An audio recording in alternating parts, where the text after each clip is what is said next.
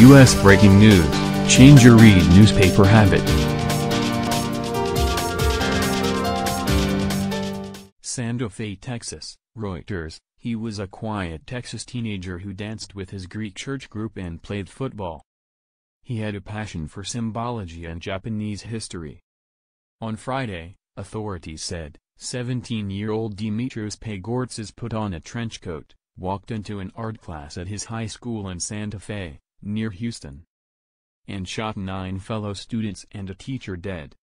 There were no red flags beforehand to indicate that Pagourtzis was headed for trouble, Governor Greg Abbott said.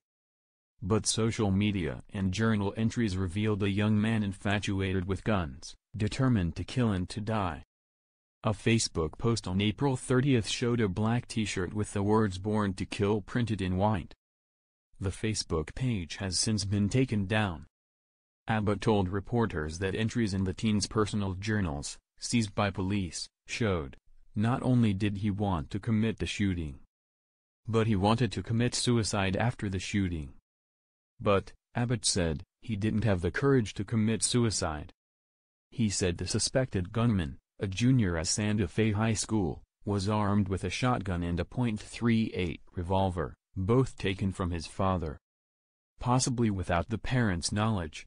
Pictures of a Greek festival affiliated with the Assumption of the Virgin Mary Greek Orthodox Church in Galveston showed Dimitrios, the son of a green immigrant, dancing with other costumed performers. The pictures were archived on the church's Facebook page. Dimitrios was identified in a photo caption.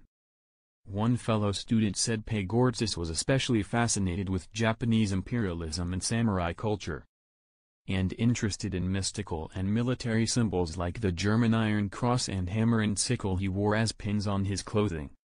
Classmates remembered that he often wore a trench coat, similar to the one authorities said the shooter used to conceal the firearms carried into the school.